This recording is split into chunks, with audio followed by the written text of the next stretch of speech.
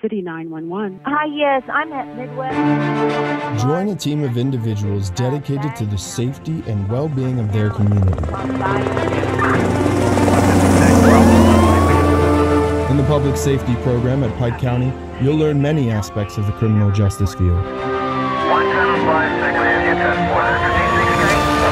Police work, the criminal trial process, forensics, dispatch, duties of a corrections officer, and crime scene investigation, and earn up to three semester hours to continue your education. Help to make your world a safer place with the public safety program at Pike County.